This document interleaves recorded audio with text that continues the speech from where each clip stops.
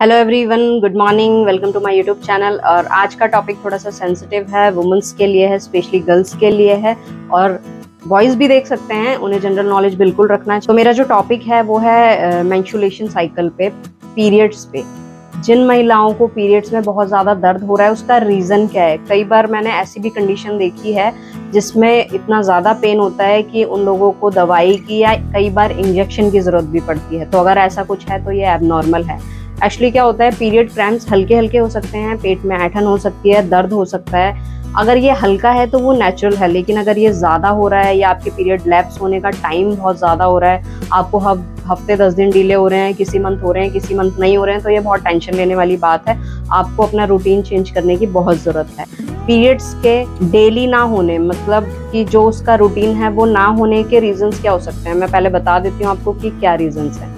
एक तो आजकल की जो डाइट है फास्ट फ़ूड खाना अल्कोहल लेना बियर लेना, ये सीधा सीधा पीरियड्स को अफेक्ट करती है। अगर आप लोग बिल्कुल बेकार वाली डाइट ले रहे हैं तो आपको बहुत जल्दी वेट बढ़ने वाला है और पीसीओडी का प्रॉब्लम होगा। और एक बार पीसीओडी का प्रॉब्लम हुआ तो पीरियड्स को बैलेंस करना बहुत ज़्यादा मुश्किल हो जाता है। और प्रेगनेंसी में इसके जो रिज़ल्ट हैं, आप बहुत गिल्ट करेंगे उस टाइम इससे अच्छा है कि अगर आपको ये प्रॉब्लम अभी हो रहा है तो सीधा डॉक्टर से एडवाइस लें।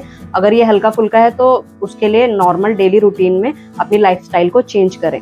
डॉक्टर एडवाइस तब ज़रूरी है जब ये प्रॉब्लम बहुत ज़्यादा हो रहा हो। ऐसे ही जब पेट में बहुत ज़्यादा दर्द होना, एक नॉर्मल पेट में दर्द है, वो चल जाता है क्रैम सभी को होते हैं, किसी किसी का मूड स्विंग होता है। होता है क्या है कि कुछ दिन पहले, पीरियड से दो चार दिन पहले, हार्मोनल इम्बैलेंस होता है। कुछ लोगों में दर्द होता है, कुछ लोगों में हार्मोनल इम्बैलेंस। इससे चिड़चिड़ाहट, कुछ भी अच्छा ना लगना, कोई कुछ कह रहा है तो गुस्सा आ जाना, ऐसी बातों पे ओवर रिएक्शन जो बातें बहुत लाइट हैं हमारी नॉर्मल लाइफ में, हम उन पर रिएक्ट कर जाते हैं। तो ये चीज़ें चलती हैं, थोड़ा सा अगर आप माइंड सेट कर ले कि हाँ मेरे को, मुझे पीरियड से पहले मूड स्विंग्स हो रहे हैं तो आप उसको कंट्रोल कर सकते हैं कहीं ना कहीं।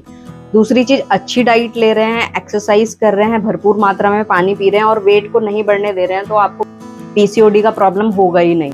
अगर आप उस कंडीशन में जहाँ आपका वेट तेज़ी से बढ़ गया है पीसीओडी हो गया है रूटीन में पीरियड्स नहीं है, कभी हो रहे हैं, कभी नहीं हो रहे हैं क्लॉट्स बन रहे हैं, जो ब्लड है, वो गाढ़ा हो गया है तो यहाँ आप प्रॉब्लम फेस कर सकते हैं। ज़्यादा प्रॉब्लम है डॉक्टर एडवाइस लीजिए, वरना अगर बिल्कुल क्विट कर चुके हैं तो एक एडवाइस है, एक स्टार्टिंग से स्टार्ट कीजिए। सबसे पहले मैं बता देती हूँ, जिन लोगों को पेन होता है, उनका एक सबसे अच्छा रिज़ल्ट है। रिज़ल्ट के लिए वेट करना पड़ेगा। ऐसा नहीं है कि मैंने आपको बताया, आपने उसको दस दिन फॉलो किया और आप सही हो जाएँ। आपको महीने, दो महीने और छः महीने देने पड़ेंगे। अगर आपको वो वाली कंडीशन है जिसमें आपको पीरियड्स में बहुत ज़्यादा पेन हो रहा है इंजेक्शन और मेडिसिन की ज़रूरत हो रही है तो योगा ज्वाइन कर लीजिए। आप सिर्फ़ सुबह ना आधे से एक घंटे योगा कीजिए।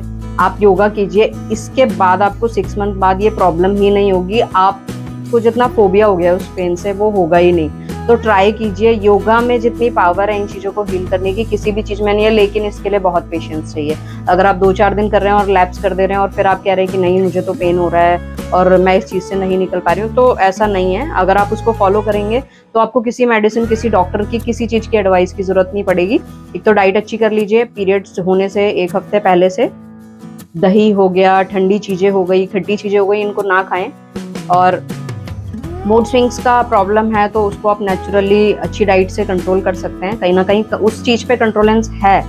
अगर अच्छा नहीं लग रहा है तो कोई नहीं, हमें पता है नॉलेज में है कि ऐसा हो रहा है, लेकिन जब पेन हो रहा है तो वो बहुत बड़ी प्रॉब्लम है। तो योगा कीजिए, कुछ ऐसी एक्सरसाइजेज और इनसे आपको रिज़ल्ट मिलेगा। बिना डॉक्टर एडवाइस के भी रिज़ल्ट मिलेगा गारंटी है इस चीज़ की। अगर आपको, और इसके अलावा अगर आपको एक दो दिन डिले हो रहा है तो इतना नेचुरल होता है, लेकिन ये चीज़ प्रोसेस ज़्यादा है तो इस चीज़ पे ज़रूर दीजिए उम्मीद है आपको मेरी वीडियो से नॉलेज मिली होगी और चैनल को लाइक और सब्सक्राइब कर दीजिएगा कमेंट ज़रूर कीजिएगा और अपने फीडबैक ज़रूर दीजिएगा। Thank you